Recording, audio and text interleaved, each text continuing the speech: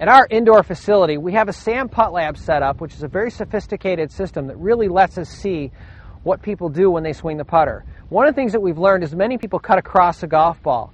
I think there's a common reason for that. People are built to be bilateral, meaning we walk straight ahead, we aim straight ahead. So when you set up to a putt, it's really easy to open your shoulders up and not know it. Whenever your shoulders are opened up, the putter would naturally swing outside into the golf ball.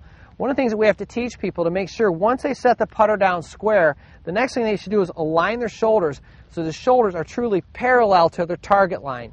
If your shoulders are parallel to your target line, then you've got a chance to make sure the putter just swings in the proper path without really fighting it going across the putt.